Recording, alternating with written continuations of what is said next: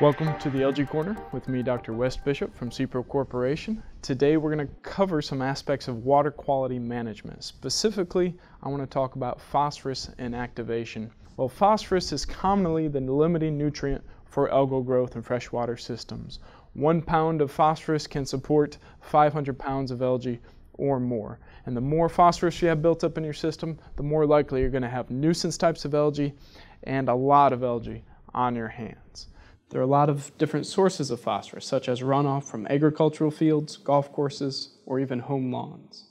There's phosphorus that just comes from the atmosphere in rain. Wildlife is a big contributor of phosphorus. One goose can poop up to 92 times per day. Uh, the problem is, despite all these sources, phosphorus can just build up in aquatic systems. We often see this pool of phosphorus built up in the sediments. It looks like organic muck on the bottom of your lake or pond. This can be accumulation of phosphorus from many different sources, even leaves and grass clippings that build up in your pond through time.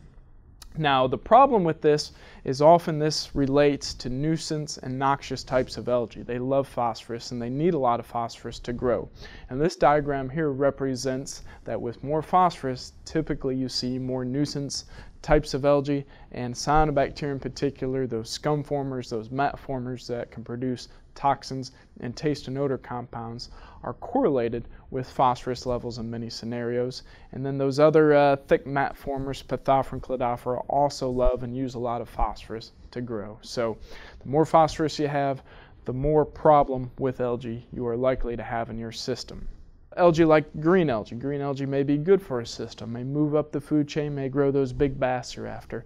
Those don't need as much phosphorus. They prefer higher N to P ratios. So by removing the phosphorus, specifically removing the phosphorus, we shift that ratio higher and can grow those better types of algae.